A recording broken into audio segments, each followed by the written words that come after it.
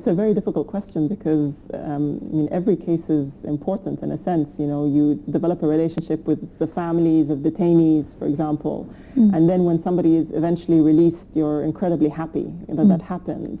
Or if there's a, a, a torture case and you're working either with a victim or with a family on trying to uh, create public pressure for the case to go to court, and, and once that happens, I mean, you know, many people will, will remember obviously the Khalid Said case as, as one of the, you know, the emblematic cases that, that led to the uprising. And, and there are many small Khalid Said cases, I think, in, in, in different areas. One of the um, one of the more recent cases I've been working on, and I've been in touch with their family, is the case of uh, the last Egyptian in Guantanamo Bay. Uh, his name is Tariq Saweh, and he's been there since 2001, detained by the Americans without charge or trial. And so I've been in touch with his brother and, and his lawyer. His brother is in Alexandria, uh, because these days uh, our call has been to President Morsi and to the Egyptian government to pressure the United States to release him and to bring him back to Egypt because since 2001 without charge or trial is, is horrific. It's, it's like mm. the emergency law but worse. Guantanamo, and we don't need to, to mm. convince most Egyptians that Guantanamo Bay is bad, but since he's the last Egyptian, our hope is that pressure from the Egyptian side will make a difference in his mm. case. Did you interfere in uh, Ahmed Gizawi's case? Uh, I personally haven't, no. My colleague who works on Saudi Arabia um, is, is aware of this case and is in touch with some of his Saudi Arabian contacts about it. Both in the case of Ahmad Gizawi and in the case of Naglat Wafa, because mm. that is another case where an Egyptian national in Saudi Arabia is being, she's being subjected to the punishment of lashing. Mm.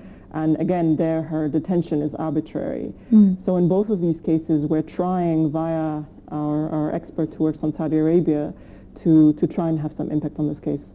Trying to um, lobby the Saudi Arabian government on human rights cases is very, very difficult. Um, corporal punishment is a violation of human rights. Absolutely clear. All the international uh, law on this is very clear. And so for that alone, she should not be subjected to this punishment. And she should have had a lawyer and she should have had a clear process.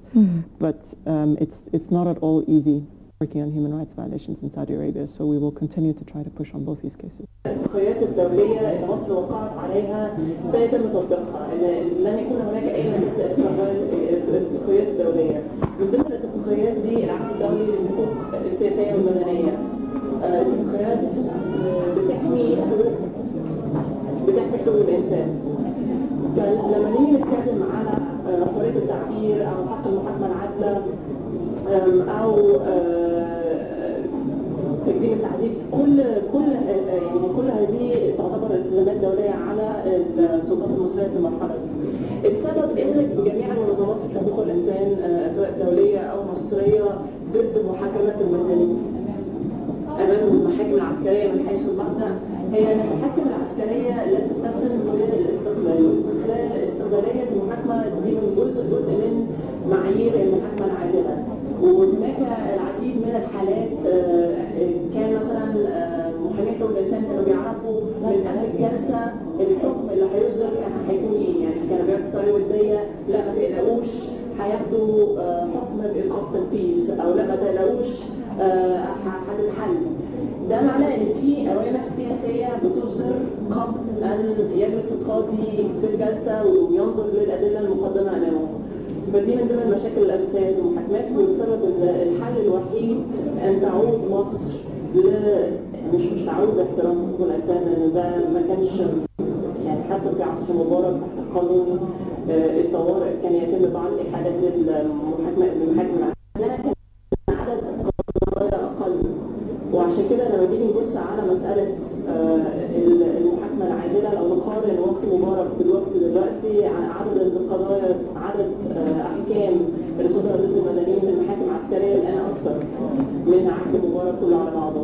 What are the uh, governmental and non-governmental institutions that you will work with or cooperate with?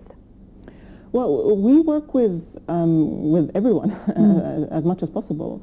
Um, what we the people we naturally work with are human rights organizations, um, um, Egyptian human rights organizations primarily, of course, but we also work with individual lawyers who work on particular cases. Um, syndicates sometimes, either you know loose groupings. I mean, the Tahrir doctors, for example, were an informal grouping uh, uh, of doctors, but also you know we will try to go to the sources uh, themselves.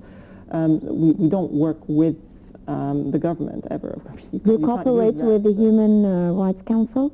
The National Council for Human Rights, we've, uh, we've, we've met with them over the years. We, we don't really do, as an organization, we don't do joint projects or seminars or conferences. We're an organization that only does research uh, and, and advocacy, you know, meeting and, and, and, and lobbying for particular cases.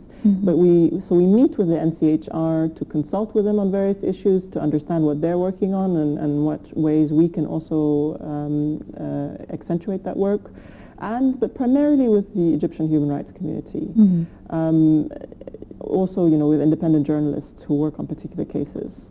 So there's always cooperation on the information sharing, on the consultation process, on, on how to do that work, and also at the international level, because there's also, you know, obviously in Geneva, there's the Human Rights Council, there are various human rights committees, and so here again, NGOs will often coordinate um, the messaging that they submit to these international bodies.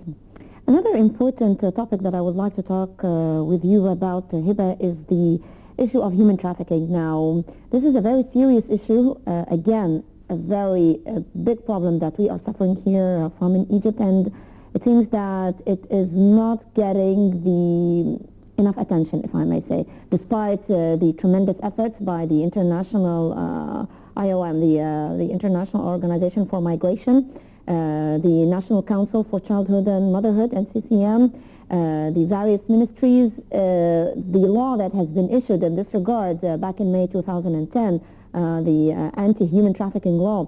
Still, this is a problem. After the revolution, the problem uh, became even worse because we had uh, security problems, we had borders problems, we had other problems.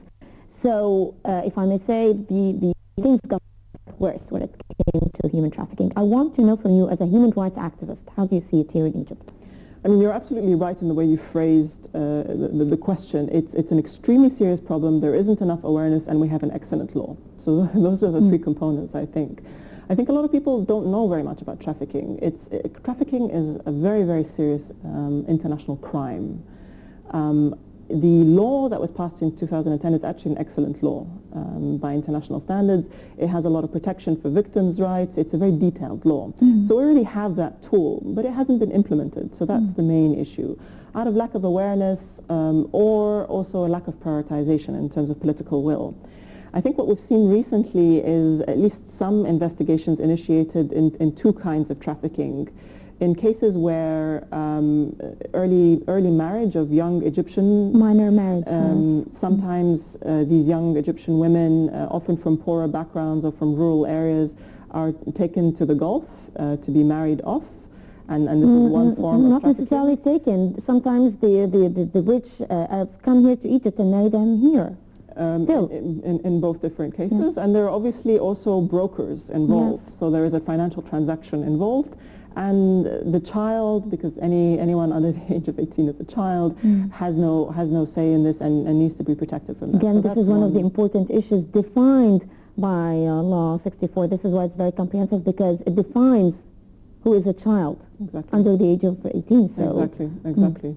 Uh, the other the other type of cases that we've seen recently are some foreign domestic workers. Um, there was one prosecution uh, investigation by prosecutors that was initiated about three four weeks ago when an Indonesian worker fell and from the fourth floor of the building and, and died. And the prosecutors then discovered that her employer, who was a Qatari policeman, was locking her in and had uh, kept back her salary. And that, so those are the components also of trafficking. So at least an investigation was initiated under the trafficking law. And I think that's an important precedent. The third type of trafficking that is really widespread in Egypt, and unfortunately we haven't seen any response yet on it, is trafficking in Sinai. Now Sinai, there are multiple security uh, uh, problems there at the moment, and organized crime has been a longer term problem. I mean, there is trafficking of weapons, obviously, and that's a security concern. But what we in the human rights community are trying to flag is that there are also trafficking of African migrants that are happening there. And what happens is that many of these migrants are trying to reach Israel. And of course that makes them very unpopular in terms of public opinion in Egypt. So we're not talking about um, you know, why they're actually there, but once they're there, they're detained by these uh, criminals, What by organized criminal groups. Mm, They are done? tortured, The women are raped. Sometimes organs stolen. There are reports of their organs being stolen, and at that point, the traffickers are demanding, you know, in 2009, they were asking for $2,500 to release them. These days, they're asking for $33,000, and nobody can raise that kind of money. So what happens is that they make the African migrant call their relatives abroad, and they torture them on the phone to increase pressure on the relatives to fundraise. Hmm. And so you get, for example, Eritrean groups abroad trying to raise this money. Now, this is horrific from a human rights perspective that this is happening, but it's also a security issue. It's a law enforcement issue. Hmm. Organized crime should not be allowed to occur. And while we understand that the security situation in Sinai is complex, I think the government also needs to prioritize the human trafficking aspect because it's not good for anybody. It's not good for the migrants. It's not good for security. And the government's obligation under the trafficking law are, are clear. They need to intervene to rescue the victims of trafficking, to protect them, and to shut down the trafficking networks. Because unfortunately, it's it's a good way of making it. It's a very serious issue that uh, needs more effort. Again, despite uh, the great efforts and tremendous efforts by the NCCM and the IOM, still more needs to be done. We as citizens, we need to be more aware. We need to uh, uh, be more alert when it comes to uh, the various forms of human trafficking.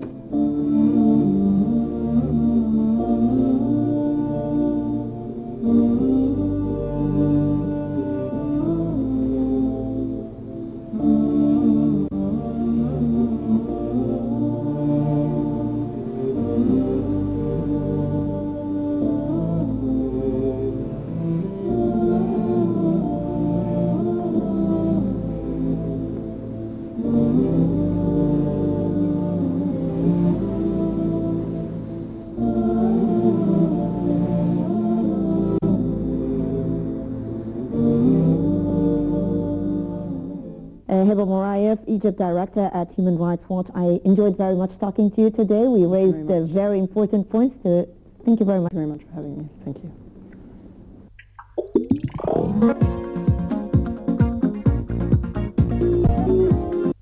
And that brings us to the end of this edition of Women's World. We certainly hope you've enjoyed it. We'll be meeting you again next week, same time. Until then, bye-bye.